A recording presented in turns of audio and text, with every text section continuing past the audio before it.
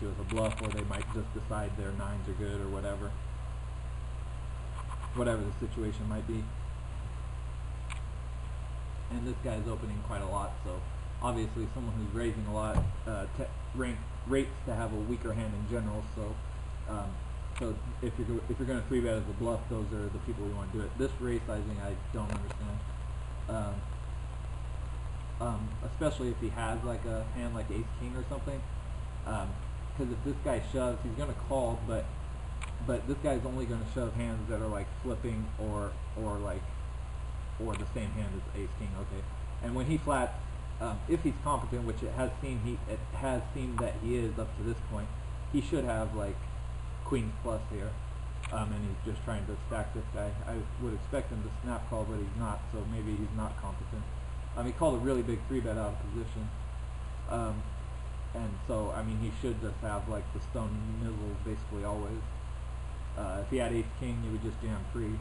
And now he must be tanking with like, I, I guess he flatted with like tens or something like that. But if you are flatting with tens, I don't know, I don't know how you could possibly fold there. So maybe he just had like ace queen off and, and he's really terrible. I don't know. Or maybe he just had ace king and he's really terrible. I don't know. Uh, that kind of made got me interested in whether or not he's a good player, winning player. That that seems really bizarre what he just did there. Uh, looks like he's a solid winner over a solid sample at the fifty dollar level. So I guess we'll do make a note of that. Uh, solid winner, solid sample, fifty dollar level. Okay. All right.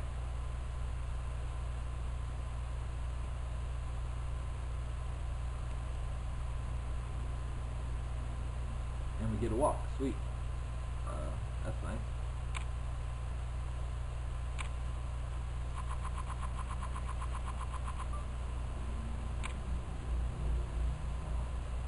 Son of man. Sorry. Been singing Phil Collins all day.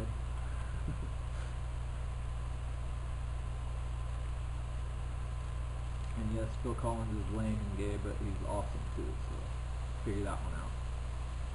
Figure that one out, I say.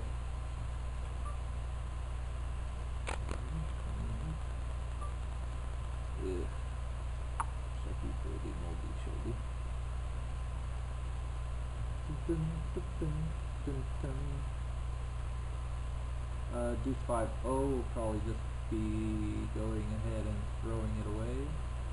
Uh, 23 left, so we're looking at, wow, okay, payouts start growing up big after we get down to the final two tables. I mean, fairly big. The next jump is actually somewhat substantial, so we'll keep that in mizzle, or in mind, as they say.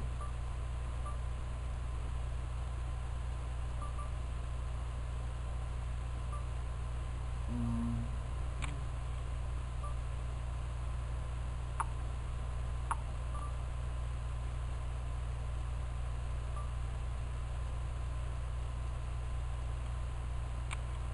Ooh, yeah.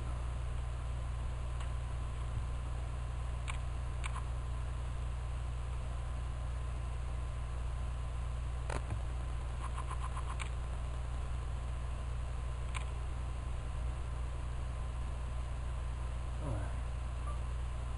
And they chop it up with the nuts on the board. I didn't see that hand, that's fun. How did that hand go down? That's fun, nuts on the board. Four nines with an ace kicker. Uh, just gonna fold that. I wasn't paying attention, have the other there. So pardon me, showing you what you already seen.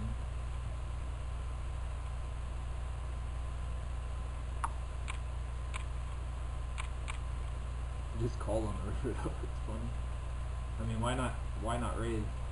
I mean, that it's.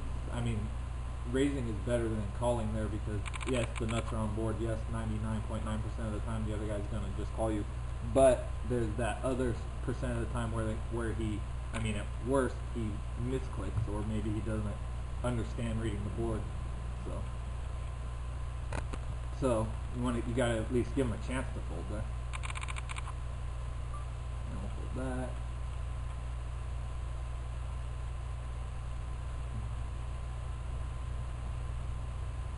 Gotta give him a chance to make a mistake.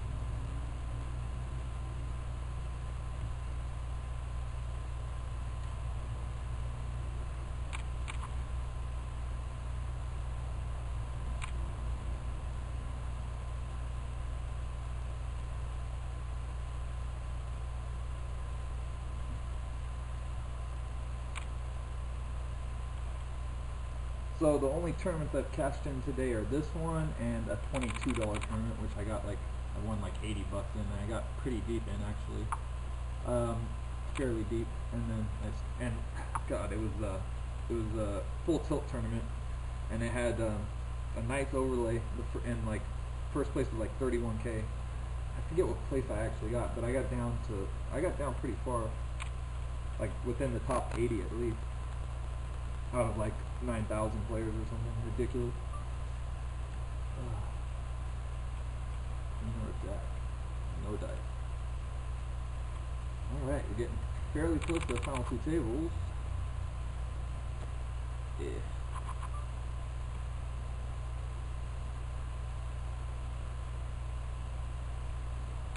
Um, I'm just gonna give this up.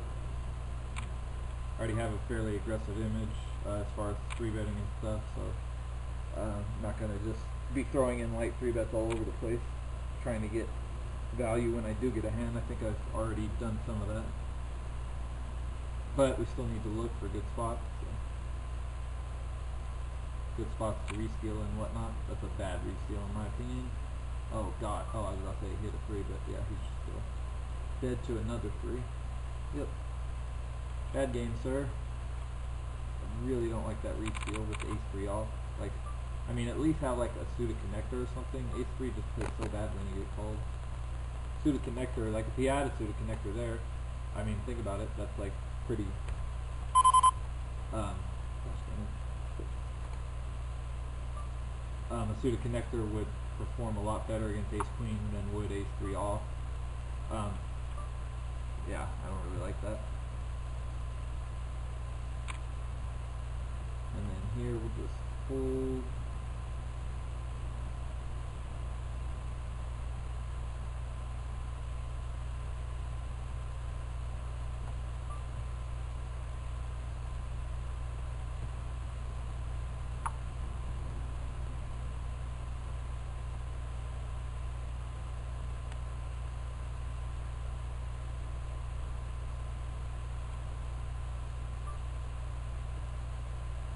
Yeah.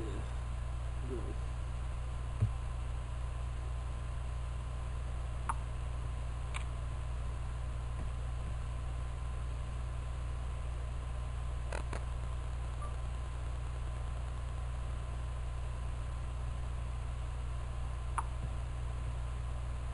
Alright, king 10.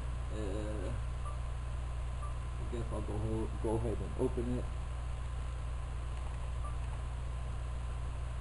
Uh, how much is it in the pot? Eighty-eight fifty-five. Uh, we'll be folding this to a re-raise, obviously. And we take it down again, so that's nice.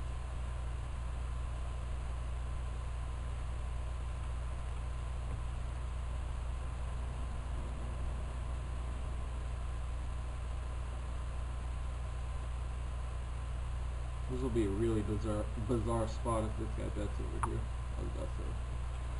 What is he thinking? I three bet king king four three double suited out of position. It came queen ten eight where I flopped the king high flush draw, but I just checked. He checked back, turns the queen, check check, rivers the queen, check, and now he like tanks on the river whether or not to turn his hand to a bluff, I guess. Um, but he tanks for a while and he checked and he had five four three three, which I don't really like his raise call three. Uh, Three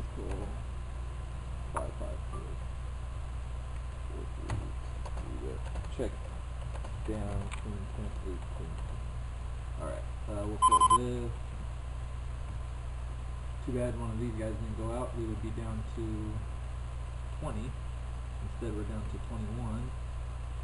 And that's what I got in that other in that fifty dollar tournament was twenty first. so let's see if we can avoid doing that again.